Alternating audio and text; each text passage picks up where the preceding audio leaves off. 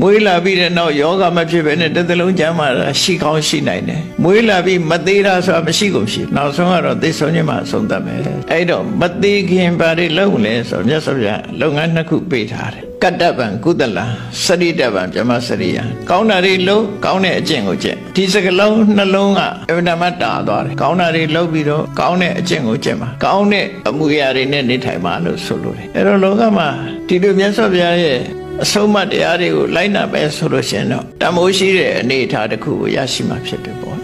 မြတ်စွာဘုရားပေးထားတဲ့ကုသိုလ်ကောင်းမှုဆိုတာအစဉ်စဉ်ရှိတယ်မိဘလှုပ်ကြွေးတာလဲဗဓမ္မတန်မိုးရှိတဲ့ကုသိုလ်ကောင်းမှုတစ်ခုဖြစ်တယ်မိတ်ဆွေသင်္ကအပေါင်းအသင်းကိုကူညီဆောင်ရွက်တာလည်းပဲအမှန်တန်ကောင်းတဲ့အခြင်းပဲသူစရတရားတွေကျင့်သုံးနေထိုင်တာလည်းအမှန်တန်ကောင်းတဲ့အခြင်းပဲဒီအခြင်းတွေဟာဘဝရဲ့ဒုက္ခတွေကိုအတော်အသင့်တားဆီးနိုင်တယ်သို့တော့ ဘဝကထွက်ဖို့အတွက်ကတော့မလုံလောက်သေးဘူးတဲ့အဲ့ဒီအကျင့်နေနဲ့မလုံလောက်သေးဘူးတဲ့ဘဝကထွက်မြောက်ဖို့ကြတော့ဘာလို့အောင်လဲဆိုရင်စိတ်ဓာတ်တည်ငြိမ်အောင်ကြိုးစားပြီးတော့အသိပညာကိုတိုးမြင့်ရမယ်စိတ်ဓာတ်တည်ငြိမ်အောင်ထားတာကတမာတိကျင့်စဉ်သမထအကျင့်ကိုကျင့်တာအသိပညာကိုတိုးမြင့်တာကြတော့ဝိပဿနာအဲ့ဒါနှစ်ခုမလုပ်ဖဲနဲ့ဘဝကမထွက်နိုင်ဘူးလူတိုင်းလူတိုင်းဟာ